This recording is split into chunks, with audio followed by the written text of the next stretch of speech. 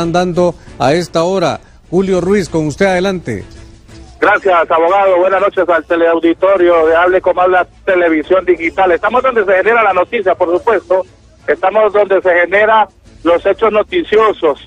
Mire, ha ocurrido un asalto a un restaurante chino aquí en la en el, en el barrio Tierra Blanca de la ciudad de Daniel. Aquí le pertenece al barrio Tierra Blanca.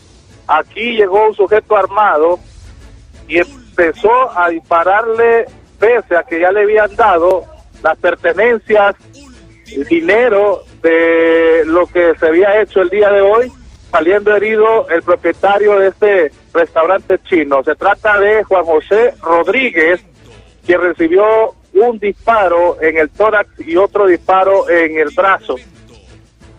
El individuo luego de cometer, de cometer esta, esta fechoría, huyó huyó de la escena y en estos momentos pues la policía anda tras la pista.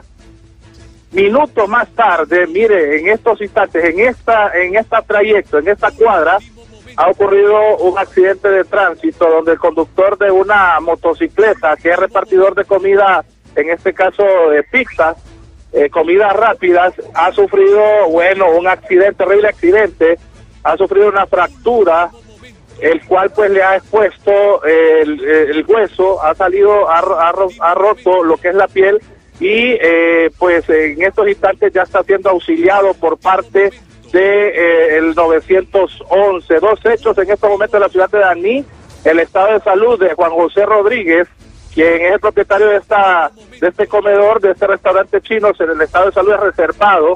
Él ha sido ingresado a la sala de emergencia del Hospital Gabriel Alvarado ya en estos instantes pues está siendo intervenido quirúrgicamente, pero se nos ha dicho por parte del personal médico que su estado es reservado.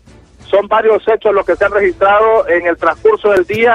Dos personas asesinadas violentamente encontrados en este municipio de Aní y ahora un asalto. Es lo que podemos detallar, abogado, a esta hora en la ciudad de las colinas de Aní.